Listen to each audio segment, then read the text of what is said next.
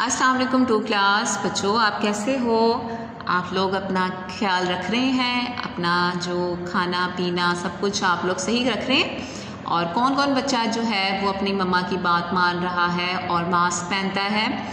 आप लोगों ने मम्मा की बात माननी है और आप लोगों ने घर से बिल्कुल भी मास्क पहने बगैर बाहर नहीं जाना है। और अपना बहुत ख्याल रखना है और जितना हो सके आप लोगों ने बाहर की चीज़ें नहीं खानी। फास्ट फ़ूड में जो आप पिज़्ज़ा बर्गर खाते हैं, वो आप लोगों ने कम कम खाना है।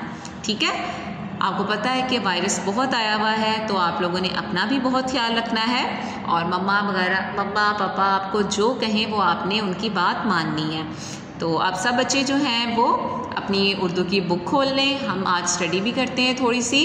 आप लोगों ने हर काम करना है, लेकिन स्टडी भी आप लोगों ने करनी है। तो अब बुक खोल लें सब बच्चे। पेज नंबर थर्टी थ्री खोल लें। हम लोग क्या पढ़ रहे थे? आबिद की तोबा। इसमें हम एक बच्चे की कहानी पढ़ रहे थे।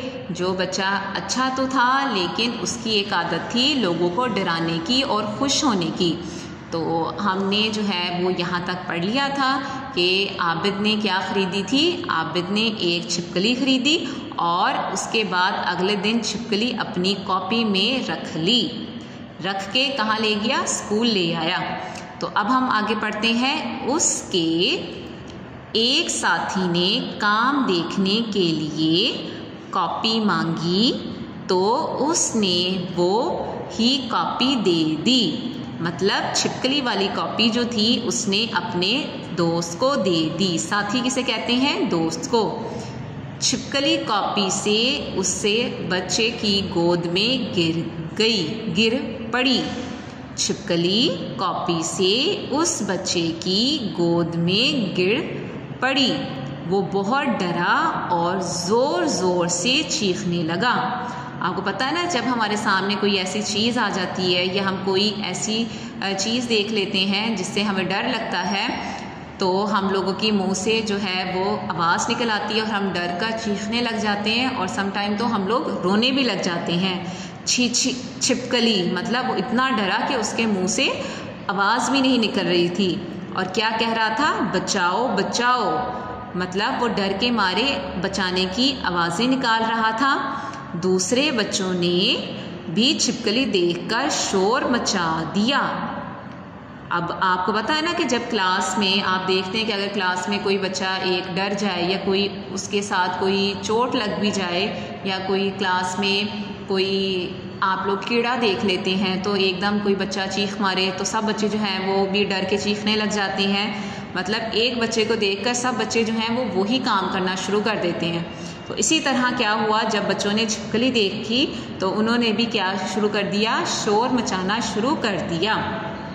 ठीक है? तो अब यहाँ तक हम लोग पढ़ा है। इन जो है वो नेक्स्ट जो लेक्चर में हम आगे पढ़ेंगे। तो आप लोगों ने बार बार बच्चों इन अल्फाज को पढ़ा करें, जिस तरह इसमें आप लोगों ने इमला लिखनी है।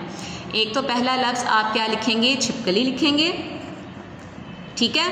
और उसके बाद आप क्या लिखेंगे? चीखने, फिर बचाओ, और ये हो गया शोर। सिर्फ़ एक, दो, तीन, चार।